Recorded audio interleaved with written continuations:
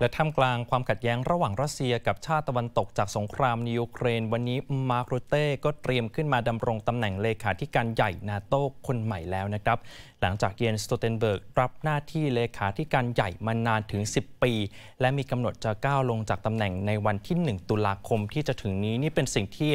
ทั่วโลกกำลังจับตามองอย่างมากโดยเฉพาะรัสเซียนะครับการนั่งเก้าอี้ผู้นำสูงสุดของกลุ่มพันธมิตรด้านความมั่นคงและการทหาร เกิดขึ้นหลังจากสมาชิก 32 ชาติของนาโตได้ลงคะแนนเสียงอย่างเป็นเอกฉันท์ครับคุณผู้ชมสำหรับมาร์กรุเต้กำลังจะพ้นจากตำแหน่งนายกรัฐมนตรีเนเธอร์แลนด์นะครับแล้วก็มีจุดยืนสนับสนุนยูเครนในด้านอาวุธยุโทโธปกรณ์อย่างแข็งขันตลอด 2 ปีกว่าๆของสงคราม ระหว่างรัสเซียกับยูเครนด้วย การเปลี่ยนแปลงผู้นำขององค์การนาโตก็เกิดกิดขึ้นในช่วงหัวเลี้ยวหัวต่อสำคัญ เนื่องจากสมาชิกนาโตในยุโรปกำลังเร่งเสริมความมั่นคงอย่างหนักด้วย เนื่องจากหลายประเทศก็กังวลว่าโดนัลด์ทรัมป์อาจจะคว้าชัยชนะในการเลือกตั้งประธานาธิบดีสหรัฐ จนส่งแรงกระเพื่อมต่อกลไกความมั่นคงของพันธมิตร แห่งนี้ในอนาคตได้ด้วยนะครับ ถามว่ารัสเซียรู้สึกอย่างไร วันนี้ดมิทรีเพสคอฟโฆษกทำเนียบประธานาธิบดีรัสเซียออกมาตั้งข้อสังเกตว่า การเปลี่ยนตัวเลขาธิการใหญ่ในครั้งนี้ไม่ได้สะเทือนต่อจุดยืนของนาโต้มากนักครับ Вряд ли этот выбор способен что-либо поменять в генеральной линии НАТО, Североатлантического альянса, который в настоящий момент и по отдельности мы имеем в виду стран-членов под непосредственным руководством Соединенных Штатов Америки э, и вместе, как Североатлантический альянс, э, работают с целью, эм, э, с целью стратегического подавления Российской Федерации.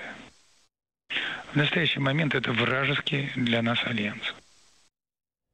ด้านรายงานพิเศษของสำนักข่าวรอยเตอร์สวันนี้ระบุว่าที่ปรึกษาคนสำคัญของโดนัลด์ทรัมป์ได้เสนอแผนปูทางไปสู่การยุติสงครามในยูเครน ถ้าทรัมป์คว้าชัยชนะในการเลือกตั้งนะครับ โดยแผนการนี้ได้ยื่นยื่นเงื่อนไขให้ยูเครนยอมเข้าสู่กระบวนการเจรจาสันติภาพ ไม่เช่นนั้น สหรัฐก็จะไม่ยอมจัดส่งอาวุธยุโทโธปกรณ์ให้ยูเครนอีกต่อไป ขณะเดียวกันก็เตือนไปที่รัสเซียให้ยอมเข้าสู่กระบวนการเจรจาสันติภาพด้วยเช่นกัน ไม่เช่นนั้น สหรัฐก็จะยกระดับการสนับสนุนยูเครนในสงครามครั้งนี้ให้มากขึ้น โดยแผนการนี้เสนอโดยอดีตประธานคณะเสนาธิการกองทัพสหรัฐในสภาความมั่นคงแห่งชาติภายใต้รัฐบาลของทรัมป์เมื่อปี 2017 ถึงปี 2021 ครับ และท่ามกลางการตั้งคำถามถึงจุดยืนของทรัมป์เกี่ยวกับสงครามในยูเครน วันนี้ประธานาธิบดีวโลดิมีร์เซเลนสกี้ก็เดินทางลงพื้นที่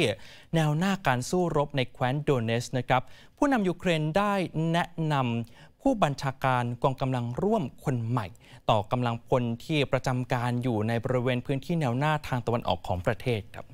โดยหลังจากที่ผู้บัญชาการกองกำลังร่วมคนเดิม ได้ทำผลงานในสมรภูมิไม่ค่อยดีนักนะครับ ส่งผลให้ยูเครนตกเป็นฝ่ายเสียเปรียบรัสเซียตลอดหลายเดือนที่ผ่านมา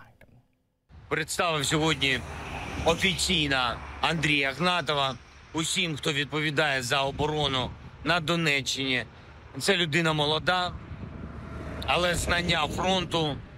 досвід у нього саме такі, як потрібні. Завдання для генерала Гнатова очевидно знищувати окупанта і берегти дуже важливо якнайбільше життів наших воїнів. По моєму порученню ส่วนศาลอาญาระหว่างประเทศหรือ ICC ก็มีมติออกหมายจับเซอร์เกียชอยกู อดีตรัฐมนตรีกลาโหม และวาเลรีเกราซิมอฟ อดีตเสนาธิการกองทัพรัสเซีย ให้เหตุผลว่าทั้งคู่ได้ก่ออาชญากรรมสงคราม และอาชญากรรมต่อมนุษยชาติในยูเครนตั้งแต่วันที่ 10 ตุลาคมปี 2022 ถึงวันที่ 9 มีนาคมปี 2023 ดยกรอบเวลาดังกล่าวเป็นช่วงเวลาที่รัสเซียโจมตีโรงไฟฟ้าหลายแห่งในยูเครน จนส่งผลกระทบต่อการใช้ชีวิตของประชาชนเป็นจำนวนมากนะครับ แต่โอกาสในการจับกลุ่มชอยกูและเกราซิมอฟเป็นไปได้ยากมากครับคุณผู้ชม เนื่องจากรัสเซียไม่ได้เป็นสมาชิกของ ICC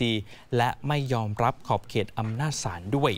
ย้อนกลับไปเมื่อเดือนมีนาคมปีที่แล้ว ICC ก็เคยออกหมายจับประธานาธิบดีวลาดิเมียร์ปูติน ในข้อหาก่ออาชญากรรมสงคราม จากการลักพาตัวเด็กๆ ชาวยูเครนเช่นกันนะครับด้านโฆษกทำเนียบประธานาธิบดีรัสเซียก็ออกมาวิจารณ์หมายจับของศาล ICC ว่าเป็นเรื่องไร้สาระ และย้ำจุดยืนถึงการไม่ยอมรับขอบเขตอำนาจศาล ICC